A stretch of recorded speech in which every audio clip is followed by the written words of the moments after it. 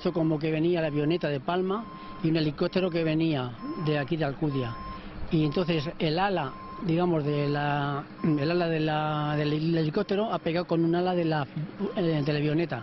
Y he salido disparado para acá el helicóptero, que nosotros estamos a 200 metros, y para allá la avioneta, que está a 300 metros.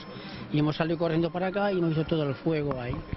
Y ha venido un matrimonio, también han roto el candado de aquí de la casa y, y pasado, y empezado a tirar con la manguera agua. cuando, cuando han ido los bomberos ya estaba apagado, porque entre los vecinos y tal lo hemos apagado. Y entonces la parte de allá igualmente, cuando he ido para allá, bueno, cuando estaba aquí ha venido una ambulancia y me ha dicho dónde había quedado la avioneta y yo digo, ahí de allí dice, ¿puede acompañarnos? Digo, sí.